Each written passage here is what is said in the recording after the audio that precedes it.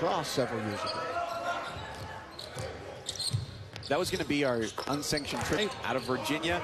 And then Portland and Milwaukee with all three games streaming live on the ESPN app. So you can watch.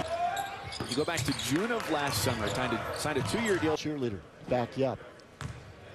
Kyle Allman Jr. They're at a Cal State Fullerton. Native of Brooklyn who went all the way across the country.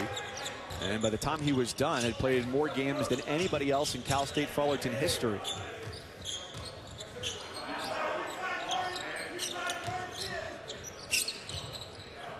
A.J. Davis sends it.